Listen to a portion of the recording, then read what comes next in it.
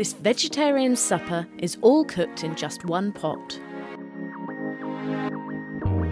Heat the oil in a flame-proof casserole. Add the onion and garlic and cook over a gentle heat for three minutes until soft and golden, stirring regularly. Stir in the cinnamon and tomato puree and cook for a minute.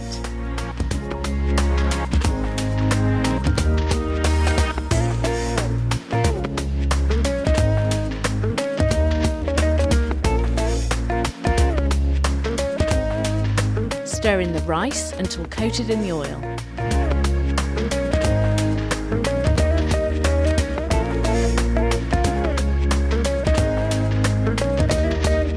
Add the stock or cold water, season and bring to the boil.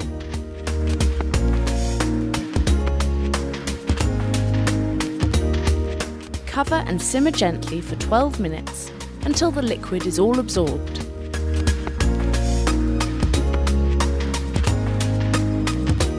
Add the chickpeas,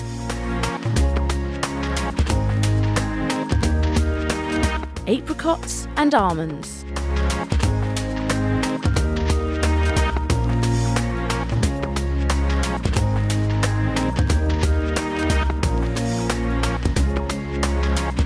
Recover and cook gently for a further 5 minutes until the rice is tender.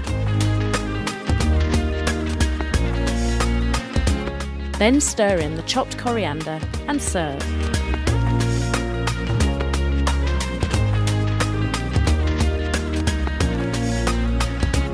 And to drink, try a glass of Miguel Torres San Medin Cabernet Sauvignon Rosé.